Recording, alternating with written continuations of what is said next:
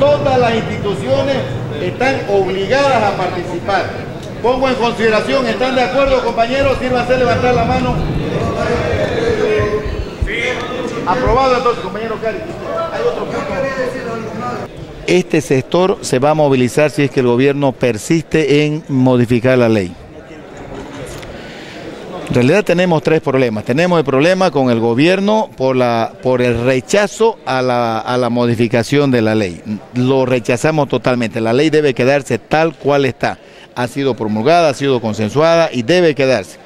En el tema del municipio de La Guardia hay un, una arremetida en contra de los compañeros del sector de materiales de construcción este, y el gobierno municipal de Santa Cruz, que unánimemente todos tienen problemas. Hay una discriminación, el retiro de la placa, no lo dejan trabajar, hay una, han denunciado extorsión, se hablan de cuentas de sumas fuertes de dinero.